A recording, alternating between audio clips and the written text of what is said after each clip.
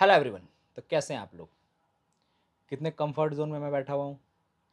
आपको इस comfort zone से उठ जाना है और परेशानियों के समंदर में कूद जाना है।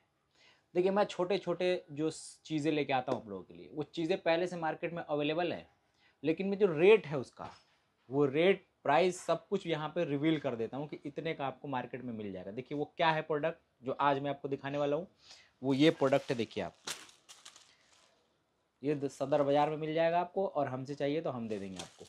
ये एक पत्ते में बीस पैकेट हैं और ये आपको लगभग पंद्रह रुपये का एक पत्ता मिल जाएगा। अगर आप एक रुपये का एक इसको बेचते हैं तो पाँच रुपये कमा लेंगे एक पत्ते पे और अगर आप दो रुपये का इसको बेच देते हैं तो पच्चीस रुपये कमा लेंगे एक पत्ते पे। ये आप लोगों ने देखा होगा, देखिए मैंने थोड़ा सा इसको भिगो के भी रखा है, ये देखिए।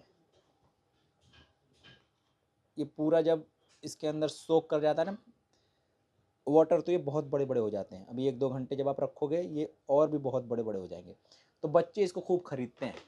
इसको आप पाँच रुपये का भी बेच सकते हैं। तीन रुपये का, दो रुपये का, एक रुपये का भी बेचेंगे तो पाँच रुपये आप कमा ही रहे हैं। तो आप इस तरीके से छोटे छोटे प्रोडक्ट अगर आप लोगों को चाहिए, हर वीडियो की स्क्रीन पर नंबर डला रहेगा व्हाट्सएप नंबर आप उस पर व्हाट्सएप करिए अपनी रिक्वायरमेंट जितना माल चाहिए आपको थोड़ा सा टाइम लगेगा। एक हफ़्ते, दस दिन, पंद्रह दिन, जो भी लगे, लेकिन माल आप लोगों को मिल जाएगा। आराम से इस प्रोडक्ट को मंगाइए। ये एक उसमें पैकेट में लगभग दस पत्ते होते हैं ऐसे। डेढ़ सौ रुपये के दस पत्ते आपको मिलेंगे और डेढ़ सौ को सीधा पाँच सौ रुपये में कन्वर्ट कर सकते हैं आप। आराम से बेचिए, इसको एक रुपये का बेच दीजिए, दो रुपये का बेच दीजिए।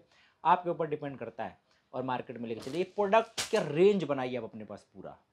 छोटे छोटे गली मोहल्ले की दुकानों तक पहुँचिए, जो पहले से दे रहे हैं, उनसे दो रुपये सस्ता दीजिए और मार्केट में आके उंगली करिए। बेशरम बन जाइए, उंगली कर दीजिए, आप कुछ ना कुछ पालेंगे। लेकिन उसके लिए आपको मार्केट में आना पड़ेगा। जो इस वाले कंफर्ट जोन में मैं बैठा था ना, इससे निकल के ऐसे होना पड़ेगा आपको। क्योंकि जब तक आप उठेंगे नहीं, लड़ेंगे नहीं, तब तक कुछ पाएँगे नहीं। तो मिलेंगे फिर ऐसे किसी तब तक के लिए अल्लाह हाफिज़।